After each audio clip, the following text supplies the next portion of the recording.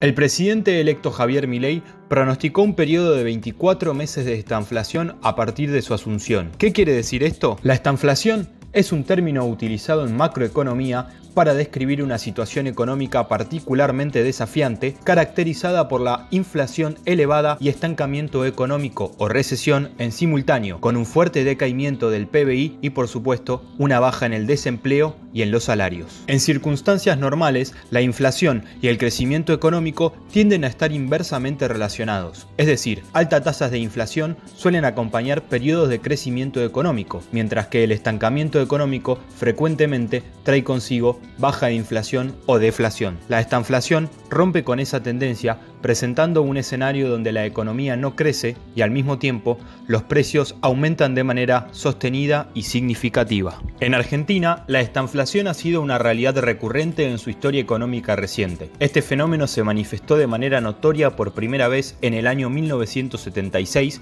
durante el inicio de la dictadura cívico-militar. En ese año, el PBI del país experimentó una caída del 2%, mientras que la inflación escaló más del 400%. Otros característicos de esta inflación han sido 1978, 1981, 1982 y 2018.